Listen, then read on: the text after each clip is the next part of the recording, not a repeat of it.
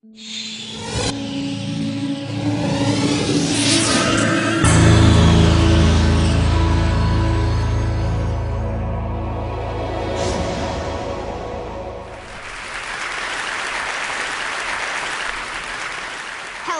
my name is Birke Baehr, and I'm 11 years old.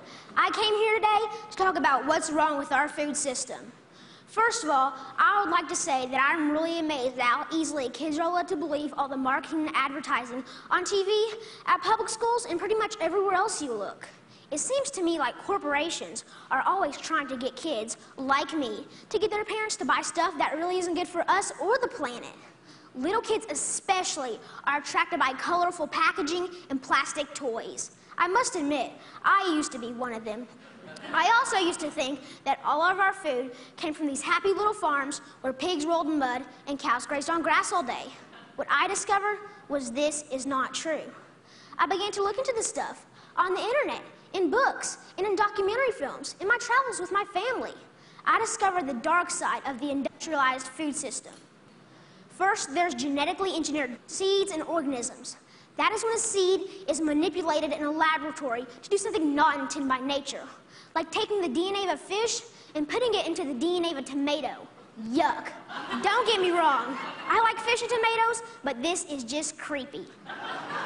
The seeds, the seeds are then planted, then grown. The food they produce have been proven to cause cancer and other problems in lab animals. And people have been eating food produced this way since the 1990s, and most folks don't even know they exist.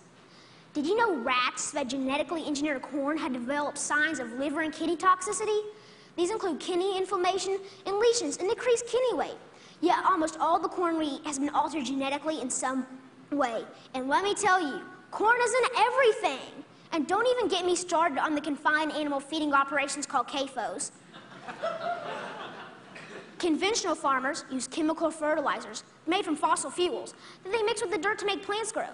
They do this because they've stripped the soil from all nutrients from growing the same crop over and over again. Next, more harmful chemicals are sprayed on fruits and vegetables, like pesticides and herbicides, to kill weeds and bugs. When it rains, these chemicals seep into the ground or run off into our waterways, poisoning our water too.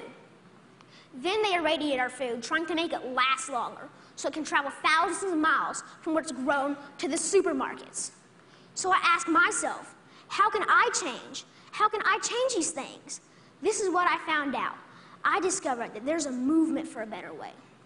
Now, a while back, I wanted to be an NFL football player. I decided that I'd rather be an organic farmer instead. That way.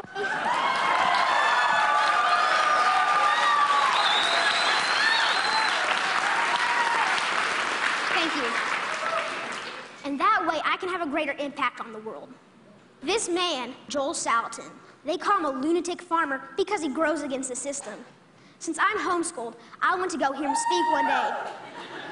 This man, this lunatic farmer, doesn't use any pesticides, herbicides, or genetically modified seeds. And so for that, he's called crazy by the system. I want you to know that we can all make a difference by making different choices, by buying our food directly from local farmers or neighbors who we know in real life. Some people say organic or local food is more expensive, but is it really? With all these things I've been learning about the food system, it seems to me that we can either pay the farmer or we can pay the hospital. I know.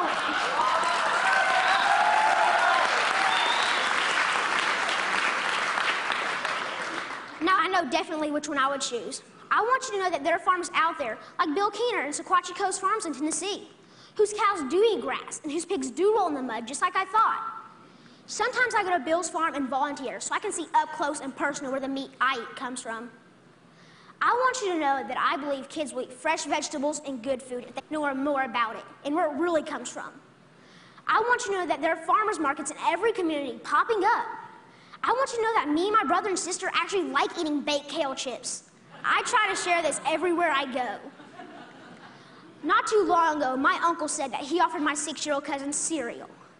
He asked if he wanted organic toasted O's or the sugar-coated flakes. You know, the one with the big striped cartoon character on the front.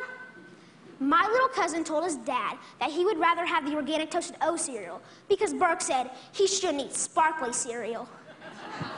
And that, my friends, is how we can make a difference, one kid at a time. So next time you're at the grocery store, think local. Choose organic, know your farm, and know your food. Thank you.